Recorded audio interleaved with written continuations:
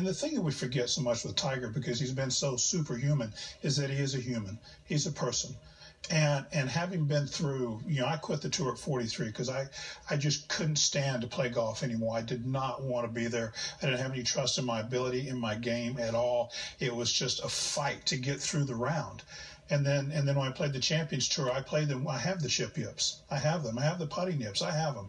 And I worked my way around. I won one time on the Champions Tour. I'm proud of that. But it's it's demoralizing when you have them because you can't do some of the things you did before. Mm-hmm. You can use experimentation. You can use imagination and find ways to chip okay.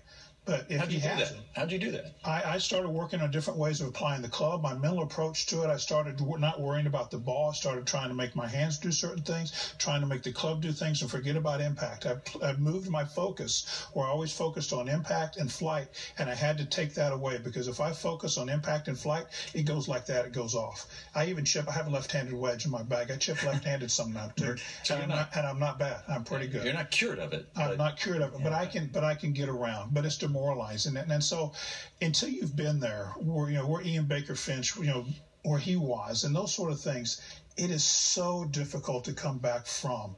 And and I worry that I hope that he's not there. I hope that he's not in that place because if he is, it's a it's a dark look down to the bottom, down there to the bottom of your soul.